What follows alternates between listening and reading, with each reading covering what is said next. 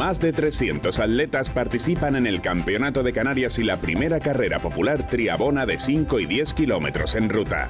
La prueba, organizada por la Concejalía de Deportes del Ayuntamiento de Granadilla de Abona, el Club de Atletismo Espíritu Triabona y la Federación Canaria de Atletismo cuenta con la presencia de importantes corredores federados y populares. Eh, en esta nueva edición eh, son muchísimos los atletas que ya han confirmado su participación, que se han inscrito correctamente a través de la plataforma de la Federación y los mejores especialistas de la modalidad a nivel canario pues estarán presentes el sábado por la tarde aquí en Granadilla de Abona. La iniciativa fue presentada por parte del concejal de deportes del Ayuntamiento Marcos González Alonso, el director general de deportes del Gobierno de Canarias, Ramón Miranda, la consejera de deportes del Cabildo de Tenerife, María del Cristo Pérez, el presidente de la Federación Canaria de Atletismo, Alberto Hernández, y el presidente del Club Deportivo Espíritu Triabona, Alexander Pérez. En cuanto al recorrido, decirles que, la prueba discurrirá por, las calles más emblemáticas de aquí del casco de Granadilla Bona, que hemos tenido que unificar eh, la prueba del 5000 y la misma pues será igual que el 10000, a, a las 5 y media saldrá hombres y mujeres, tanto femeninos como masculinos, y a las 6 y media pues los del 10000. Todos destacaron la importancia de que una prueba de estas características se celebre este año en Tenerife este fin de semana, aparte de las fiestas, que es importantísimo, por supuesto, las fiestas patronales del municipio, que esté remarcada y que esté adornada con una prueba deportiva, hace que esto sea, o hace que este sea un municipio activo, un municipio dinámico y un municipio que apuesta por el deporte en el sur de Tenerife. El número de inscritos es una prueba palpable del éxito de la convocatoria y es motivo de alegría que municipios como Granadilla, que no pertenecen al área metropolitana, tengan un claro protagonismo en materia deportiva.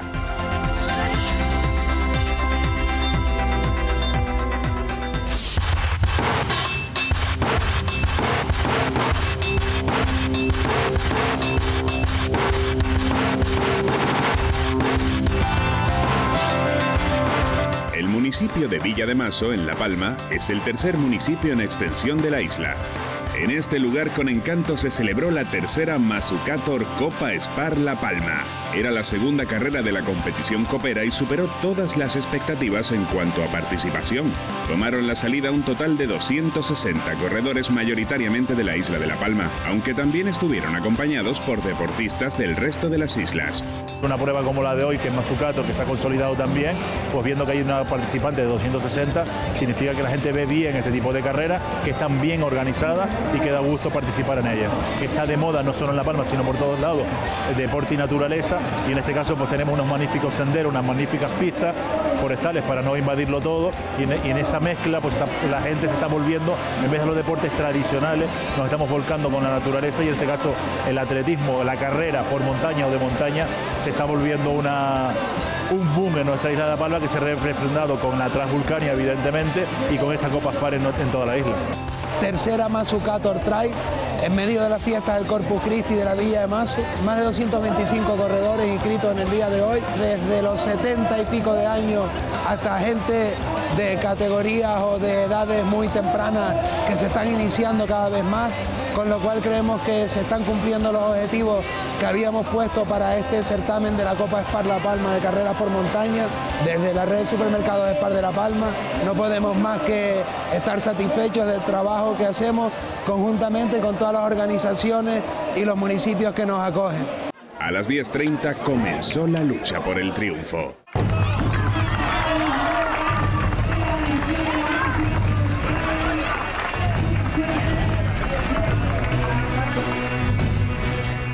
Tenían por delante un recorrido de 18 kilómetros con salida y llegada en la Plaza del Corpus.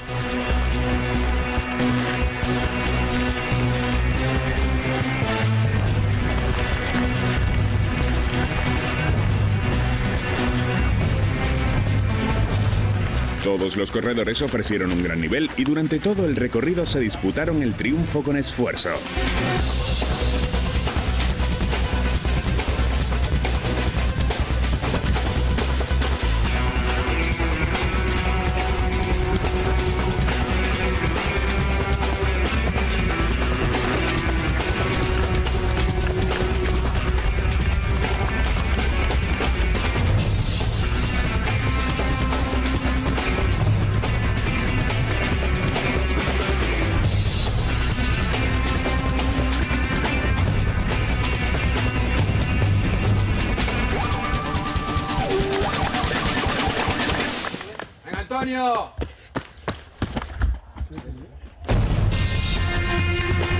Los primeros 7 kilómetros fueron de ascenso para seguir con 3 kilómetros en llano y el resto hasta llegar a meta en descenso, con pequeños repechos.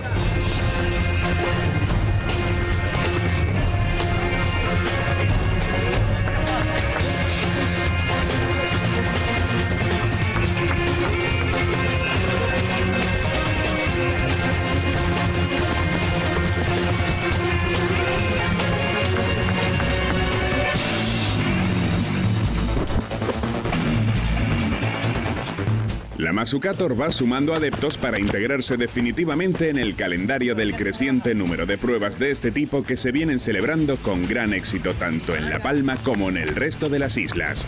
Fue una muestra más del gran nivel deportivo que hace de La Palma uno de los lugares que más apuestan por esta modalidad. venga! ¡Dios, Dios, Dios! ¡Dios! Bueno.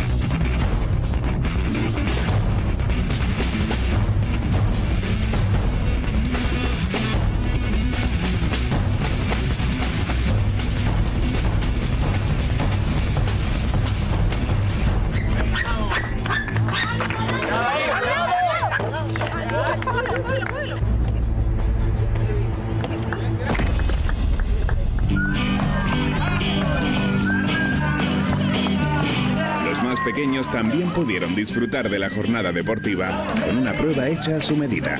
La Masucator Kids, prueba destinada a niños y niñas menores de 16 años, contó con la participación de numerosas promesas del deporte palmero.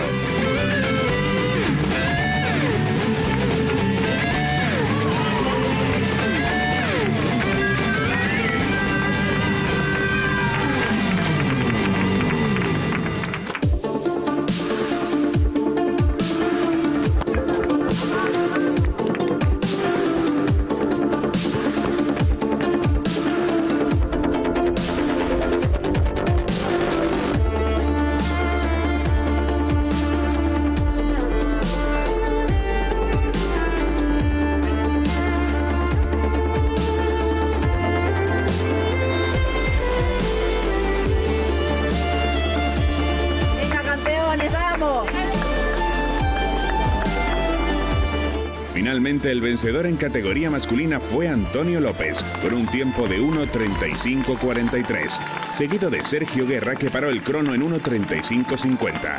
El tercer lugar fue para Francisco Rodríguez con 1.37.13. De forma física estoy bastante bien y tiré fuerte en la, en la subida. Y le di duro, intenté subir todo el tramo corriendo y en la bajada sí que noté un poco de las piernas castigadas de, de la subida. Y Sergio, el segundo clasificado, no me lo ha puesto nada fácil. La pista más o menos complicada porque llega uno con pocas fuerzas arriba de las piernas, pero más o menos se mantuvo. Ya dalo todo en la bajada. El chico de Tenerife, pues muy fuerte, no lo, no lo pude aguantar al final, nunca llegué a cogerlo. Yo creo que poco a poco la gente de otras islas se va dando cuenta que en La Palma hacemos muy buenas carreras. Mm, Hablamos de la Copa Spar, hablamos de Transvulcania y hablamos de otras carreras que están muy muy bien organizadas. En categoría femenina la prueba fue igual de disputada. La victoria fue para Tania Carmona, que entró en meta a las 2 horas 12 minutos y 51 segundos, seguida de Leticia Rodríguez con 2.20.01 y Luisa Gómez con 2.24.17. Pues yo desde chiquitito siempre lo llevo en la sangre, lo que pasa que pues uno tiene pocas malas y es otro mundo, ¿no? Pero después a medida que vas madurando y vas sabiendo lo que quieres, pues renuevas a- otra vez a seguir en esto. Que no es fácil, no es fácil la montaña porque es muy lesiva, que espero que cada día sea- seamos más. Y llegué en algún momento incluso a encontrarme muy cerca de la primera, pero después ella se ve que corre muy bien en pista y ya no la pude, la perdí. Todos se congregaron en la carpa ubicada en la Plaza del Corpus para la entrega de premios y el almuerzo de hermanamiento, que sirvió para despedir una jornada cargada de deporte, tradición y buen compañerismo.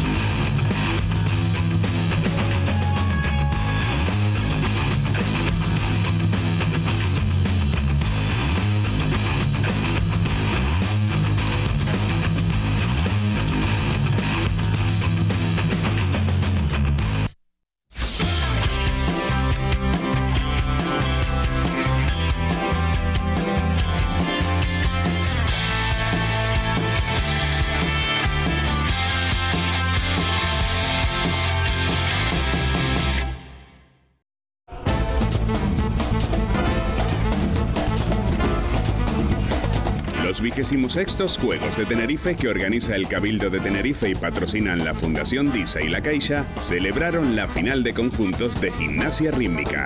La cita reunió a los mejores equipos insulares de las categorías pre-Benjamín, Benjamín, Alevín, Infantil, Cadete y Juvenil en el pabellón Ana Bautista de Santa Cruz de Tenerife. En el ejercicio de manos libres, las vencedoras de la categoría pre-Benjamín fueron CGR Ritmicot, quienes superaron a CGR Tasmania Realejos y Evan Jim. En Benjamines el oro fue para el CGR Adonai A, por delante de CGR Odisea y GR Ursel. Las mejores alevines fueron las chicas del CGR Ritmicot, quienes se impusieron a CGR Tasmania Realejos y a la Escuela Municipal de Adeje. Eh, nos encontramos en el pabellón municipal de Lana Bautista, un pabellón situado en la ciudad de Santa Cruz de Tenerife y estamos desarrollando ahora la final de conjuntos, donde se han clasificado eh, varios conjuntos de toda la isla para desarrollar un poco la final y quedar campeón, subcampeón tercero o cuarto, quinto, incluso hasta ocho conjuntos se han llegado a clasificar. El nivel es muy alto y lo que tratamos aquí es promocionar un poco la, rítmica eh, en colaboración también con la Federación Insular de Tenerife. La victoria en la final en el ejercicio de pelota Benjamín fue para GR Ursel siendo segundo el CGR Ritmicot, mientras que en aparatos Alevín el oro fue para el CGR Ritmicot, por delante de GR Ursel, segundo, y CGR Tasmania Realejos, tercero. El equipo infantil del CGR Rítmico también se anotó el triunfo en la modalidad de aparatos, al superar a la EMADG y al CGR Achinech, mientras que en el ejercicio de aro cadete las mejores fueron las chicas de la EMADG, quienes derrotaron a la EM La Orotava y al CGR Evanjim. Finalmente, el oro en el ejercicio de masas de la categoría juvenil fue para el CGR Ritmicot, segundo fue el CGR Achinech y tercero la EMADG.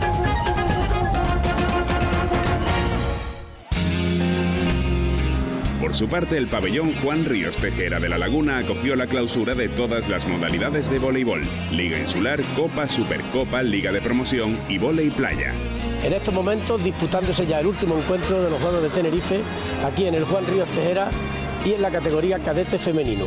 Es el partido cumbre, el partido que enfrenta a los dos clubes laguneros, los dos, el Aris y el Aguere que ya se han enfrentado varias veces y que los dos nos han representado en los campeonatos de Canarias y uno de ellos, concretamente el ARI, nos representará en los campeonatos de España. Con este encuentro damos por finalizados los Juegos Escolares en la isla de Tenerife. En categoría cadete femenino la final la disputaron dos equipos laguneros, el Aguere Caja 7 y el Aris Tenerife. La victoria, muy celebrada por las jugadoras, fue para el Aris.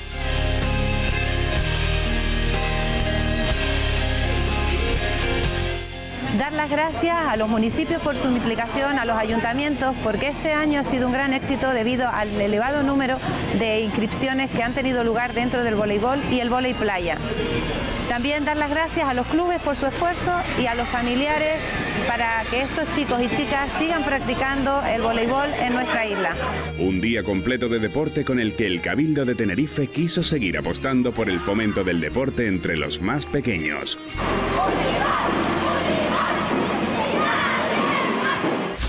Este es el Ironman más duro del mundo. O sea, esta bicicleta no, la hay, este circuito de bicicleta no la hay en ningún sitio.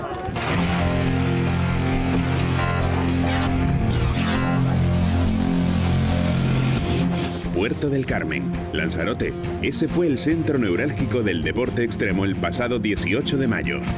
Los atletas pudieron disfrutar de los lugares y paisajes más emblemáticos de la isla.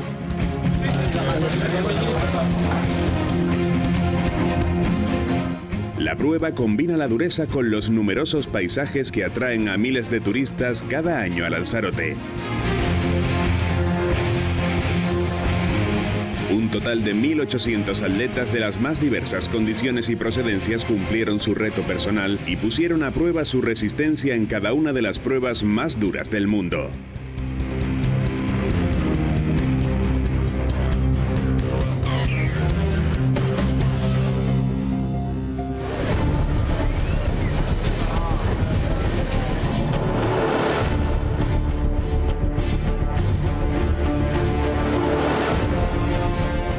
De la mañana, Puerto del Carmen. Comienza el día y con él se ultiman los detalles para iniciar la aventura. La lluvia era la protagonista en las primeras horas de la prueba.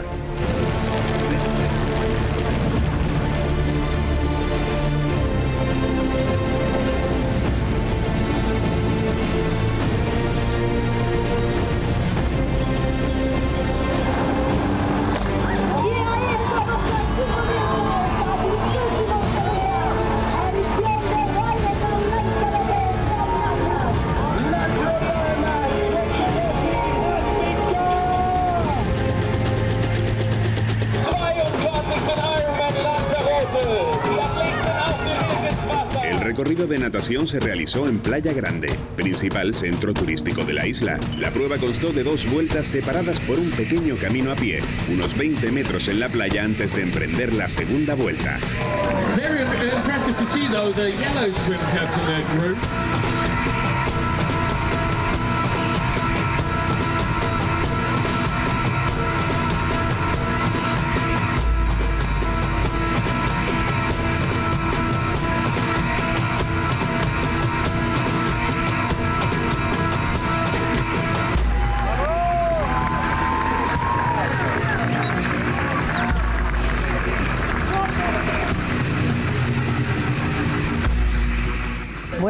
Que hoy yo creo que ha sido un día pues otra vez estupendo, por lo menos hasta ahora, que todavía queda carrera para muchos atletas.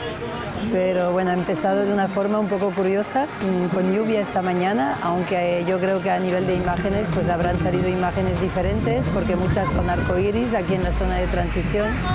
Luego pues mm, ha salido el sol, ha salido bastante viento, o sea que una buena carrera lanzaroteña. Raindrops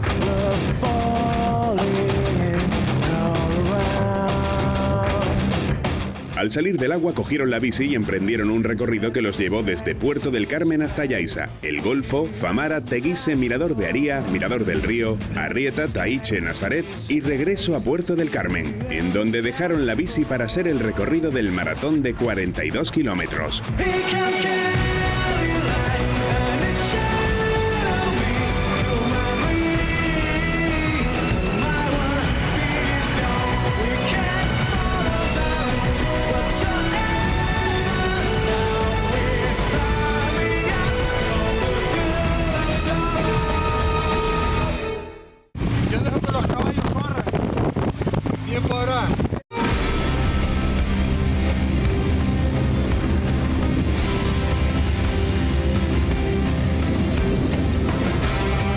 Los favoritos marcaron el ritmo desde el inicio de la carrera. El belga Bert Jamaer, ganador en 2008 y 2009, luchaba por lograr su tercer título, pero encontró un gran rival en el germano Faris Al Sultan, ganador del Ironman Hawaii en 2005. No se lo pondrían fácil los británicos Stephen Bayliss y Philip Graves, ni el estonio Kirill Kotsegarov. Entre los españoles destacaban Miquel Blanchard, Álvaro Velázquez o Iván Tejero. En féminas las favoritas eran la británica Bella Bayliss, vencedora del Ironman Lanzarote en 2008 y 2009, la holandesa Helen Big de Bate, la canadiense Tara Norton, Christine Muller y la española Saleta Castro.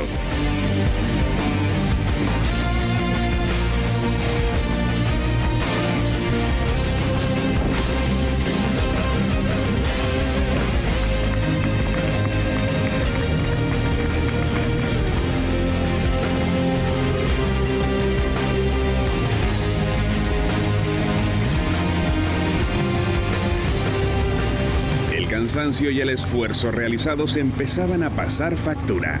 El primero en entrar en la meta de Puerto del Carmen fue el alemán Faris Al Sultán, empleando un tiempo de 8 horas 42 minutos y 40 segundos.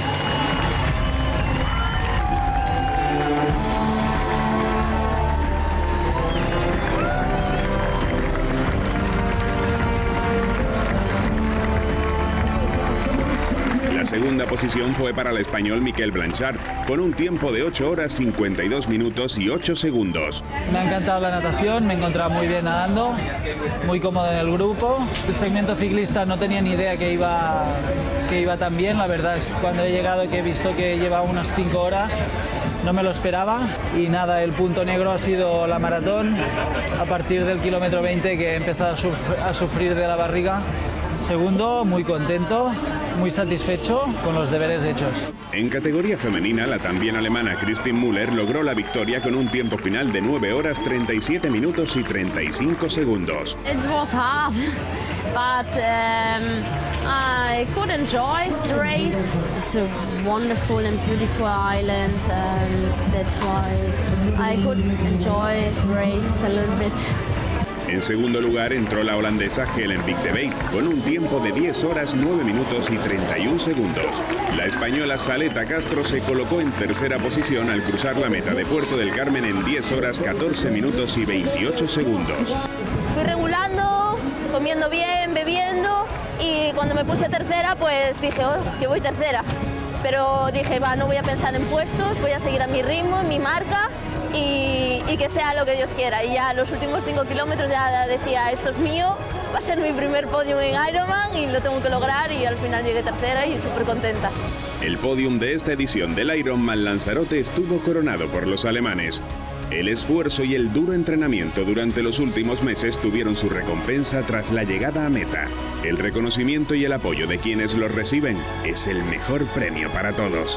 Que la gente viene con ilusión y se va todavía más feliz.